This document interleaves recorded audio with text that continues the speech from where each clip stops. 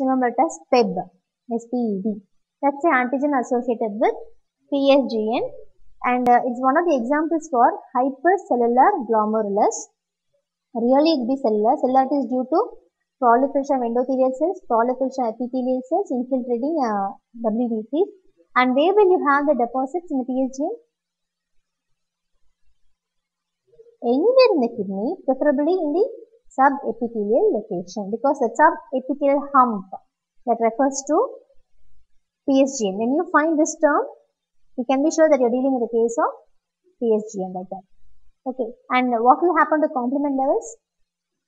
Transient hypocomplementemia. Good. And uh, hypertension, sorry, will there be nephritis along with acute renal failure? Yes. Not in every case, especially in children, it has got a better prognosis. In adults, it has got a comparatively worse prognosis. So, it might represent with nephritis and acute renal failure. And will there be hypertension proteinuria? Yes, that's a nephritic picture. There will be hematuria, there will be non-nephrotic range proteinuria. The edema in nephrotic syndrome is due to hypoalbuminemia, reduction oncotic pressure. Edema nephritic syndrome is due to in edema and nephritic syndrome due to oliguria. There is reduction in the urine output, resulting in expansion in the blood volume, plasma volume, resulting in edema development. So, both will have nephrotic and nephritic will have edema, but the mechanisms are different. Both will have proteinuria, but the range will be different. So, nephrotic syndrome, real nephrotic proteinuria. In nephritic syndrome, non-nephrotic proteinuria. And uh, uh, hypertension definitely will be there. And normal complement levels. So, again, these are contradicting, so you can't have both. Okay, at least it's time sensitive. The answer will be except all except E, all the others are features of PSGN. Macrocytosis in CBC can be diagnosed by. Well, it's a simple straightforward case. Macrocytosis is cells are larger than normal. So, with which parameter indicates the size of a cell? MCV. Mean corpuscular volume. Cells of the size of the cells are indicated by the MCV. So, MCV will be higher in macrocytosis. The peripheral smear of hereditary spherocytosis show spherocytes. So, they say the hereditary spherocytosis will be spherocytes. They are asking about the characteristic feature of spherocytes. The spherocytes usually of same size. Reticulocytosis seen, smaller signs, anemia is negligible, always associated with, I don't really understand this T and all, always associated with T, MCHC, that's all I can see. Okay, so usually, actually again this is, this is wrong, answer given, the textbooks are also wrong, I don't know, I haven't gone through every MCQ textbook you come across, but I have seen the common pathology textbooks, most of the textbooks are given, discuss it wrongly, at least in the last edition. I don't know, maybe they would have kept it in the last edition, in the recent edition. So, the, so tell me other conditions which will have spherocytosis. Hereditary spherocytosis is not the only condition or not even the most common condition associated with spherocytosis. Tell me other conditions associated with spherocytosis. Online kids, are you there? The most common condition causing spherocytosis is IHA. What is IHA? Autoimmune hemolytic anemia. That's the most common condition. Hereditary spherocytosis like we hardly we come across some two to three patients per year, but we have we come across quite a lot of uh, IHA in a year.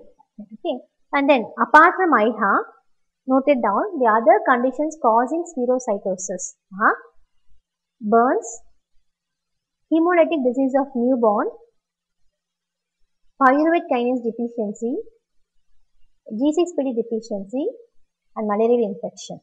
So, I repeat, the conditions causing spherocytosis are IHA, hemolytic disease of newborn, burns and don't forget hereditary spherocytosis.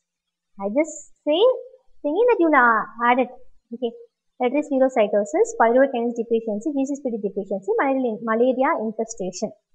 So, all these are causes of spherocytosis. So, this is not the only. So, and most importantly, when we come across a case of uh, we have to rule out the possibility of IHA. How do you differentiate IHA and uh, and uh, hereditary spherocytosis without even having it that usually happens for V pathologists, you know, like we only provided with the clinical history most often.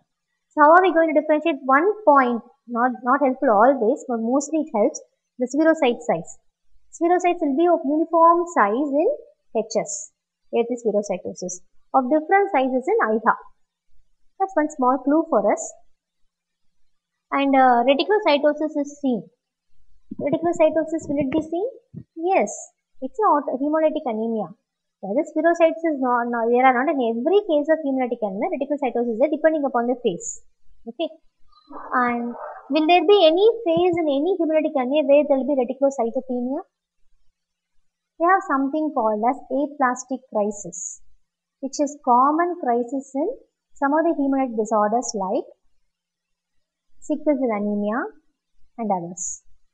TCP deficiency and all. So in that case, you know that uh, premature cells are destroyed, resulting in crisis. In that case, reticulocytopenia is a rule.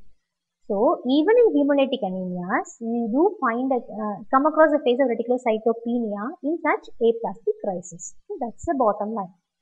And smaller in size, yes. In hereditary spherocytosis, what we come across are microspherocytes, not just spherocytes, they are microspherocytes. Okay. And anemia is negligible. It may or may not be, depending upon the geno, uh, genetic dosage. Always associated with increased MCHC. Yes, MCHC is elevated. So only one condition for you PG aspirants, MCHC elevated is hereditary spherocytosis. So usually of same size should be also should also be the answer. Are you given any printed printouts, ma, for this? No, right? Okay. So in that case, it's okay. If you are given any printers, you have to correct it. Okay. So usually of the same size, reticulocytosis is seen. There is microspherocytes and anemia may or may not be, so it is not a consistent finding. Okay. And always associated with increased MCHC. Anemia and chronic renal failure is due to. You want a lunch break? Break for lunch. So after some two patients, we'll break for lunch. Okay. Anemia and chronic renal failure is due to. So you know like uh, chronic renal failure patients becoming anemic is a very common finding. So there are multiple mechanisms operating on this to cause anemia. So one common mechanism is kidneys are the site of production of erythropoietin. This is a growth factor for red cell. That's the most common mechanism which is very well understood, fine. And will there be any reduction in red cell survival? Will there be any premature destruction of red cells? Yes.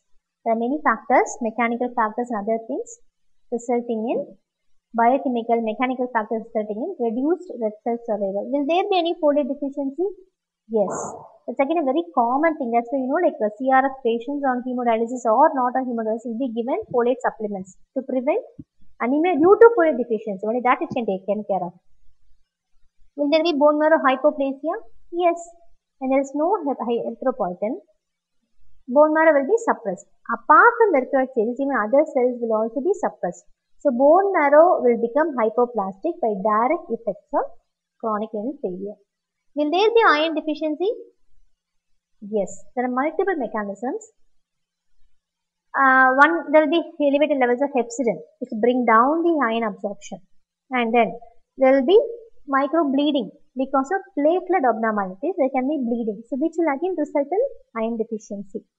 And there can also be yeah, when hemodialysis dialysis membrane will remove iron. Will also be lost. So all these are we have a lot more mechanisms to be added to this. So all these are mechanisms of iron deficiency. The answer is all. So everything is a cause for anemia in chronic renal failure